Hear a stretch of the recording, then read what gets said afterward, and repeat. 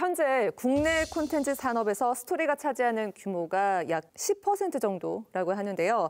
스토리가 가지는 힘 어느 정도라고 볼 수 있을지 궁금합니다. 10% 하면 아마 규모나 매출 중심으로 잡은 것 같은데요. 제가 생각하는 스토리의 어떤 규모는 훨씬 광범위하다고 생각합니다. 왜냐하면은 보통 콘텐츠를 제한 단계가 발굴, 개발, 상품화 단계로 본다면은 1단계, 2단계에서 이미 스토리의 비중은 많이 차지하고 있습니다. 예를 들어 그것들을 발굴하는 과정에 스토리의 역할이 있고 2단계에서도 엄밀히 말하면은 콘텐츠 스토리를 만드는 과정, 예. 또 콘텐츠 스토리를 미디어, 멀티미디어로 만드는 과정이 있기 때문에 3분의 2 정도가 스토리 힘이라고 봅니다. 아무리 우리가 기술이 발달하고 뭐 메타버스 플랫폼을 만들고 가상증강 현실 기술을 발전한다 하더라도 그것을 이루는 스토리가 없으면은 다 무용지물이라 보고 있습니다.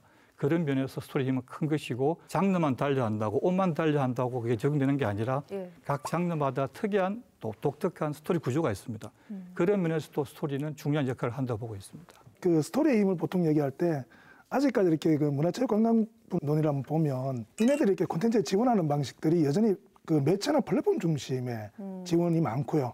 정말 스토리를 제대로 개발하기 위한 비용은 제가 한 10년 전 정도만 해도 이게 5%가 채안될 정도였었고요. 어, 네. 스토리의 저변을 확보하는 작업들 같은 경우는 거의 예산에 투자되지 않다. 이 중요성들이 아마 이 두 분 같은 분들이 계속 얘기하면서 사실 이게 점점 늘어오는 상황이거든요. 사실 정확히 얘기하면 재밌는 스토리가 재밌는 영화가 되는 거고요.